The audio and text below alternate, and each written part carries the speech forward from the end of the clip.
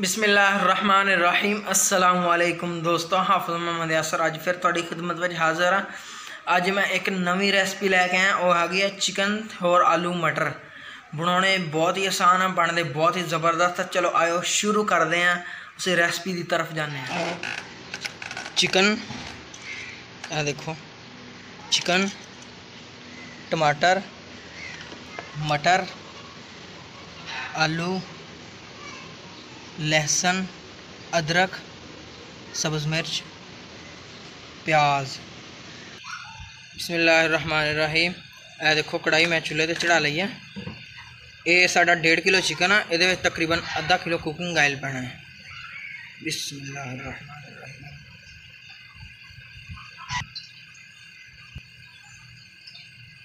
ਇਹਨੂੰ ਹੁਣ ਚੰਗੀ ਤਰ੍ਹਾਂ ਗਰਮ ਕਰਨਾ ਕੁਕਿੰਗ ਆਇਲ ਨੂੰ ਇਹ ਦੇਖੋ ਕੁਕਿੰਗ ਆਇਲ ਮਾਸ਼ਾਅੱਲਾ ਸਾਡਾ ਗਰਮ ਹੋ ਗਿਆ ਤੇ ਹੁਣ ਅਸੀਂ ਵਿੱਚ ਪਿਆਜ਼ ਪਾ ਦੇਣੇ ਇਹਨਾਂ ਨੂੰ ਥੋੜਾ ਜਿਹਾ ਡਾਰਕ ਬਰਾਊਨ ਕਰਨਾ ਜ਼ਿਆਦਾ ਨਹੀਂ ਥੋੜਾ ਜਿਹਾ।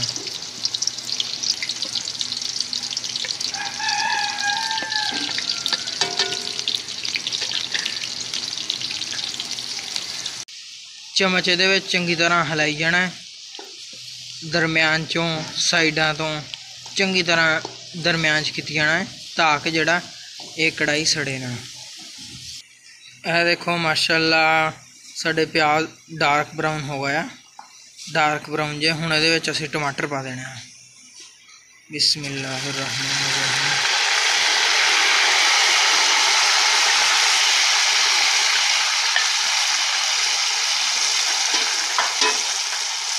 ਇਹ ਜਦੋਂ ਟਮਾਟਰ ਪਾਵੇ, ਇੰਨਾ ਛੁੜ ਛੁੜ ਜ਼ਿਆਦਾ ਇਸ ਤੋਂ ਕਰਦਾ ਹੁੰਦਾ ਕਿ ਕਿਉਂਕਿ ਟਮਾਟਰਾਂ ਦੇ ਵਿੱਚ ਹੁੰਦਾ ਪਾਣੀ। ਜਦੋਂ ਗਰਮ ਘਿਓ ਹੋਵੇ, ਉਹਦੇ ਵਿੱਚ ਆਪਾਂ ਪਾਣੀ ਦਾ ਛਿੱਟਾ ਮਾਰਦੇ ਆ ਕਿਦਾਂ ਉੱਭਰਦਾ ਹੁੰਦਾ ਤਾਂ ਨੂੰ। ਇਹ ਇਸ ਤੋਂ ਇਹ ਕੁਝ ਜ਼ਿਆਦਾ ਛੁੜ ਛੁੜ ਕਰਦਾ ਹੁੰਦਾ ਹੈ। ਹੁਣ ਇਹਦੇ ਵਿੱਚ ਥੋੜਾ ਪਾਣੀ ਦਾ ਛਿੱਟਾ ਮਾਰ ਕੇ ਤੇ ਇਹਨੂੰ ਢੱਕ ਦੇਣਾ। ਥੋੜੀ ਦੇਰ ਲਈ ਤਾਂ ਕਿ ਜਿਹੜਾ ਟਮਾਟਰ ਗਲ ਆਣ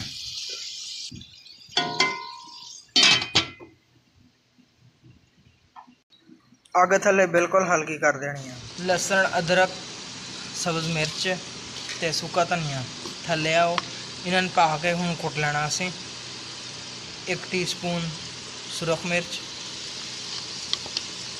1 ਟੀਸਪੂਨ ਹਲਦੀ,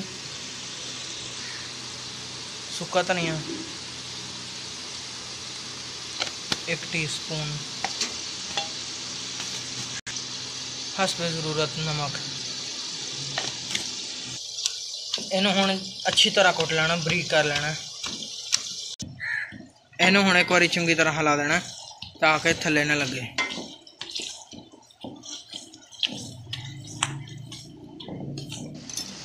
ਇਹ ਦੇਖੋ, ਇਹ ਟਮਾਟਰ ਸਾਡੇ ਚੰਗੇ ਭਲੇ ਗਲ ਗਿਆ ਤੇ ਹੁਣ ਇਹਦੇ ਵਿੱਚ ਇਹ ਮਸਾਲਾ ਪਾ ਦੇਣਾ, ਜਿਹੜਾ ਆਪਾਂ ਕੁੱਟਿਆ ਸੀ। ਪਾ ਕੇ ਤੇ ਇਹਨੂੰ ਚੰਗੀ ਤਰ੍ਹਾਂ ਹੁਣ ਮਿਕਸ ਕਰ ਲੈਣਾ, ਤਾਂ ਕਿ ਵਿੱਚ ਚੰਗੀ ਤਰ੍ਹਾਂ ਮਿਕਸ ਹੋ ਜਾਵੇ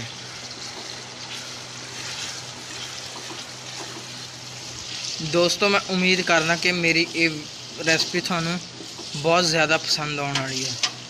ਤੇ ਜੇ ਪਸੰਦ ਆਵੇ, ਤੇ ਇਹਨੂੰ ਫੈਮਿਲੀ ਨਾਲ ਫਰੈਂਡਾਂ ਨਾਲ, ਸਾਰਿਆਂ ਨਾਲ ਇਹਨੂੰ ਸ਼ੇਅਰ ਕਰਿਓ। ਤੇ ਮੇਰੇ ਦਿਹਾਤੀ ਜ਼ਿੰਦਗੀ ਐਂਡ ਸਿੰਪਲ ਫੂਡ ਚੈਨਲ ਨੂੰ ਸਬਸਕ੍ਰਾਈਬ ਕਰ ਲਿਓ। ਤੇ ਨਾਲ ਘੰਟੀ ਦੇ ਬਟਨ ਨੂੰ ਵੀ ਪ੍ਰੈਸ ਕਰ ਦਿਓ ਤਾਂ ਕਿ ਆਉਣ ਵਾਲੀ ਵੀਡੀਓ ਤੁਹਾਨੂੰ ਬਰ ਵਕਤ ਮਿਲ ਜਾਵੇ। ਇਹ ਪਲੀਜ਼ ਪਲੀਜ਼ ਪਲੀਜ਼ ਇਹ ਆਪਦੀ ਫਰੈਂਡਾਂ ਨਾਲ ਫੈਮਿਲੀ ਨਾਲ ਜ਼ਰੂਰ ਸ਼ੇਅਰ ਕਰਿਓ। ਮੈਂ ਪੂਰੀ ਉਮੀਦ ਆ ਕਿ ਉਹਨਾਂ ਨੂੰ ਪਸੰਦ ਆਉਣੀ ਹੈ ਇਹ ਮੇਰੀ ਰੈਸਪੀ ਇਹ ਦੇਖੋ ਮਸਾਲਾ ਸਾਡਾ ਰਲ ਗਿਆ ਤੇ ਹੁਣ ਅਸੀਂ ਇਹਦੇ ਵਿੱਚ ਪਾ ਦੇਣਾ ਚਿਕਨ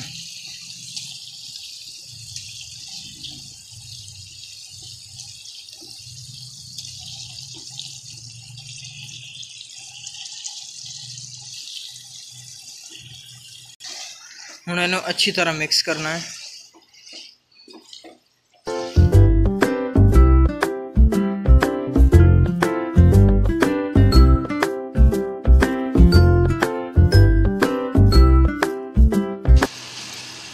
ਇਹ ਚਿਕਨ ਦੇ ਵਿੱਚ ਲਸਣ ਹਮੇਸ਼ਾ ਜ਼ਿਆਦਾ ਪਾਉਣਾ ਚਾਹੀਦਾ। ਲਸਣ ਵੀ ਇਹਨੂੰ ਕਹਿ ਦਿੰਦੇ ਥੂਮ ਵੀ ਕਹਿ ਦਿੰਦੇ ਇਹਨੂੰ ਪੰਜਾਬੀ। 'ਚ ਤੇ ਇਹਦੇ ਵਿੱਚ ਇਸ ਤੋਂ ਜ਼ਿਆਦਾ ਪਾਉਣਾ ਕਿ ਲਸਣ ਜਿਹੜਾ ਨਾ, ਇਹ ਚਿਕਨ ਦੀ ਜਿਹੜੀ ਹੁੰਦੀ ਨਾ ਬਦਬੂ ਸਮੈਲ ਉਹਨੂੰ ਮਾਰਦਾ ਹੈ। ਜੇ ਲਸਣ ਕਮ ਹੋਵੇ ਤੇ ਵਿੱਚੋਂ ਫਿਰ ਸਮੈਲ ਜੀ ਆਉਂਦੀ ਰਹਿੰਦੀ ਹੈ ਗੋਸ਼ਤ ਦੀ। ਹੁਣ ਇਹਦੇ ਵਿੱਚ ਪਾਣੀ ਦਾ ਥੋੜਾ ਛਿੱਟਾ ਦੇ ਕੇ ਤੇ ਇਹਨੂੰ ਦੇਣਾ ਟੱਕ ਟੱਕ ਟੱਕ ਦੇਣਾ ਇੰਨਾ ਚਿਰ ਟਕਣਾ ਕਿ ਇਹ ਅੱਧਾ ਪੱਕ ਆਵੇ ਤੇ ਆਲੂ ਮਟਰ ਫਿਰ ਇਹਦੇ ਵਿੱਚ ਬਾਅਦ ਚ ਪਾਉਣੇ ਆ। ਇਹ ਜਿਹੜਾ ਅਸੀਂ ਮਸਾਲਾ ਬਣਾਇਆ ਸੀ ਨਾ, ਮਸਾਲਾ ਇਹਦੇ ਵਿੱਚ ਪਾਇਆ। ਇਹ ਚਿਕਨ ਨੇ ਹੁਣ ਮਸਾਲੇ ਦੇ ਵਿੱਚ ਹੀ ਗਲ ਜਾਣਾ ਹੈ। ਤੇ ਇਹਨੂੰ ਹੁਣ ਅਸੀਂ ਚੰਗੀ ਤਰ੍ਹਾਂ ਢੱਕ ਦੇਣਾ ਹੈ ਤੇ ਇਹਦੇ ਥੱਲੇ ਅੱਗ ਬਿਲਕੁਲ ਹਲਕੀ ਕਰ ਦੇਣੀ ਹੈ।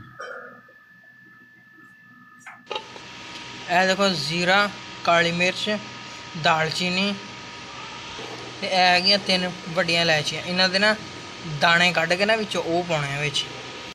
ਇਹ ਦੇਖੋ, ਇਹ ਜਿਹੜੇ ਦਾਣੇ ਨਾ, ਇਹ ਕੱਢ ਕੇ ਵਿੱਚ ਪਾਉਣੇ ਆ। ਛਿੱਲੜ ਨਹੀਂ ਪਾਉਣਾ। ਇਹਨੂੰ ਹੁਣ ਚੰਗੀ ਤਰ੍ਹਾਂ ਕੁੱਟ ਲੈਣਾ।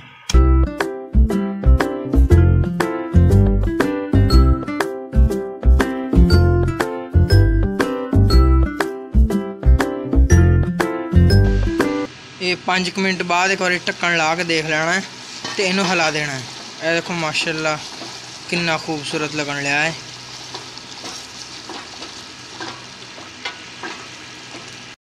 ਇਹ ਦੇਖੋ ਇਹ ਮਾਸ਼ਾਅੱਲਾ ਸਾਡਾ ਅੱਧਾ ਪੱਕ ਗਿਆ ਤੇ ਹੁਣ ਜਿਹੜਾ ਮਸਾਲਾ ਕੁੱਟਿਆ ਸੀ ਨਾ, ਕਾਲੀਆਂ ਮਿਰਚਾਂ, ਵੱਡੀ ਇਲਾਚੀ ਇਹ ਸਭ ਕੁਝ ਇਹ ਇੱਕ ਚਮਚ ਦਾ ਹੁਣ ਪਾ ਦੇਣਾ ਤਾਂ ਕਿ ਜਿਹੜਾ ਇਹਦੇ ਨਾਲ ਪੱਕ ਜਾਵੇ। ਤੇ ਇਹ ਮਟਰ ਇਹ ਵੀ ਪਾ ਦੇਣੇ ਆ।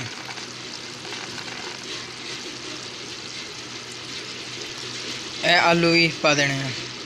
ਜੋ ਅੱਧਾ ਪੱਕਿਆ ਹੋਵੇ ਚਿਕਨ ਤੇ ਫਿਰ ਇਹ ਮਟਰ, ਆਲੂ ਤੇ ਮਸਾਲਾ ਪਾਉਣਾ ਹੈ। ਤੇ ਹੁਣ ਇਹਨਾਂ ਨੂੰ ਚੰਗੀ ਤਰ੍ਹਾਂ ਮਿਕਸ ਕਰਨਾ ਹੈ।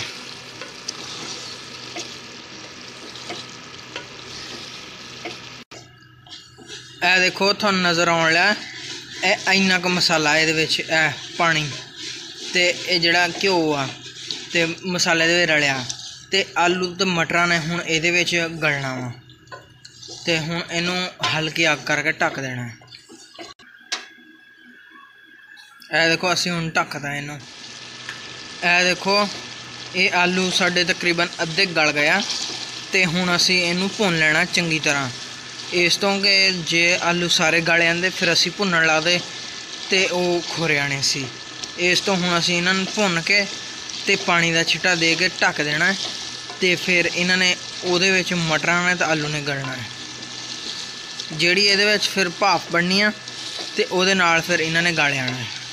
ਇਹ ਦੇਖੋ, ਮਾਸ਼ਾਅੱਲਾ, ਸਾਡਾ ਆਲੂ ਮਟਰ ਚਿਕਨ ਤਕਰੀਬਨ ਭੁੱਜ ਗਿਆ ਤੇ ਇਹ ਦੇਖ ਲਓ, ਜਦੋਂ ਇਹ ਘਿਓ ਛੱਡ ਜਾਵੇ, ਉਦੋਂ ਇਹਦਾ ਮਤਲਬ ਹੁੰਦਾ ਹੈ ਕਿ ਭੁੱਜ ਗਿਆ ਵਾ। ਜਦੋਂ ਘਿਓ ਨਾ ਛੱਡਿਆ ਹੋਵੇ ਗੋਸ਼ਤ ਨੇ ਚਿਕਨ ਨੇ, ਤੇ ਫਿਰ ਉਦੋਂ ਸਮਝੋ ਨਿਗਾ ਭੁੱਜਾ ਹੁੰਦਾ ਤੇ ਹੁਣ ਅਸੀਂ ਇਹਨੂੰ ਪਾਣੀ ਦਾ ਛਿੱਟਾ ਦੇ ਕੇ ਤੇ ਉੱਤੇ ਢੱਕਣ ਦੇ ਦੇਣਾ ਚੰਗੀ ਤਰ੍ਹਾਂ ਤਾ ਕੇ ਫਿਰ ਆਲੂ ਉਹਦੇ ਵਿੱਚ ਗਲ ਆਲੂ ਮਟਰ।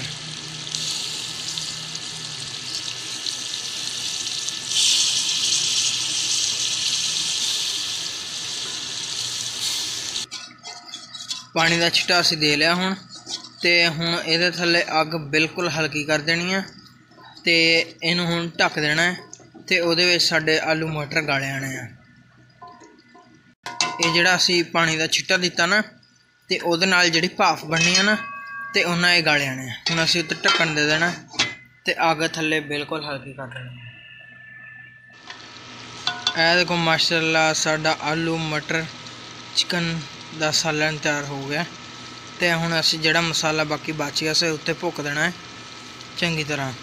ਇਹ ਪਾਇਆ ਬਹੁਤ ਜ਼ਬਰਦਸਤ ਲੱਗਦਾ ਹੁੰਦਾ ਹੈ।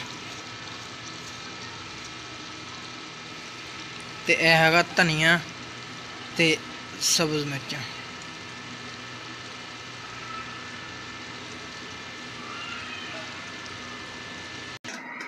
ਇਹ ਦੇਖੋ ਮਾਸ਼ਾਅੱਲਾ ਕੈਸਾ ਜ਼ਬਰਦਸਤ ਤਿਆਰ ਹੋਇਆ ਦੋਸਤੋ ਹੁਣ ਹਾਫਿਜ਼ ਮੁਹੰਮਦ ਯਾਸਰ ਨੂੰ ਦੋ ਇਜਾਜ਼ਤ ਬਹੁਤ ਬਹੁਤ ਦੁਆਵਾਂ ਦੇ ਨਾਲ ਅੱਲਾ ਹਾਫਿਜ਼